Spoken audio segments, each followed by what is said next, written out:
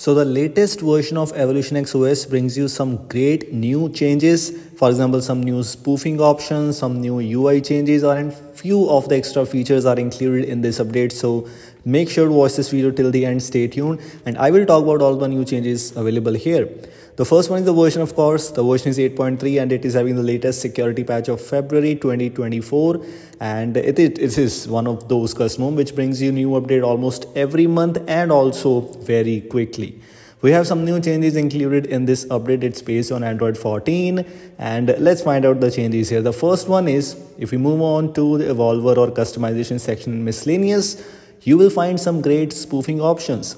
For example, you can see enable pixel props spoof as Pixel 8 Pro and one of the main highlights is enable circle to search, the latest Galaxy AI feature where you can use circle to search and let me tell you one thing that it's actually not working at least in my case. Maybe you need a specific google app of course. You need some spoofing extra spoofing options some modules to enable this option perfectly fine i will think about it and i will try to let you know i will give you the hints and issues of which i am facing and etc etc everything what information you need for the spoofing options will let you know later on. But for now the things which are included here the spoofing options are so good. Many spoofing options are added into this build. So yes make sure to check out them one more thing is actually one of the most awaited things, at least for me, because I love that feature, and that is the VoLTE icon in the status bar. So we finally have the option for VoLTE Vo Wi-Fi icon. It was already available in some previous updates. It's been some time, but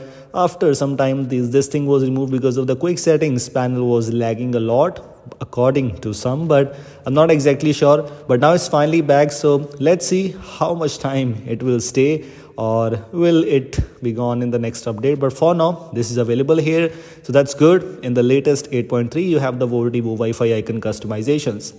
If you move on to the other options here you also have the alarm blocker which was not available previously. It's added in this update. Some of the features might be added in your update already but most of the features are actually available in 8.3 same thing is with the wake lock blocker. So alarm blocker wake lock blocker i remember i was using these features in android 6 android 7 android 8 times approximately 6 to 7 years ago. New things are not there but yes good options. For example we also have the pixel launcher. There is no nothing about the launcher here for example the quick step launch the launcher 3 it's not there. It's still pixel launcher. No issues in the pixel launcher at all. But in case you want to change this to evolution x launcher you can do so by installing a magisk module but not by default. The quick settings panel is also kind of same here. We're having the dark quick settings panel. It's not in the light shade.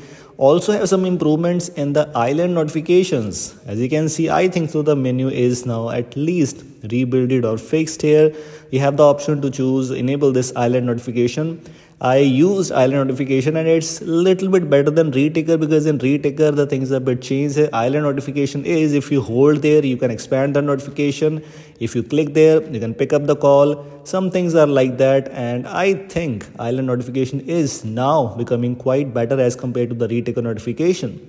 We also have the application downgrade option available, which you can also enable with the help of some extra things, but it's available by default in this custom ROM, so that's good.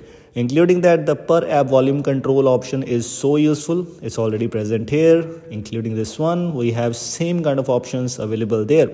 Like lock screen has the edge lighting lock screen has a ripple effect option fingerprint animation and the theming status bar quick settings panel almost similar customizations which are available in the previous update are already present here you can also also customize some fonts and icon packs, brightness sliders, signal icons. In the terms of theming, there are many options available for you.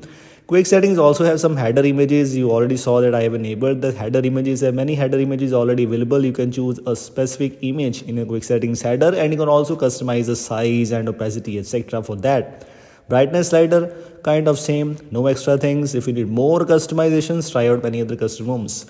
One more thing is in the security and privacy section that you have one thing like hide developer status. That's so good. This is available there. Most of the people don't talk about it, but that's actually so useful. So in case you want to use this feature, it's available in the security and privacy section. These were the things I just wanted to let you know. Link for this build is already available in the description. Make sure to check it out. Thanks for watching and we'll see you in the next one. Until then, goodbye.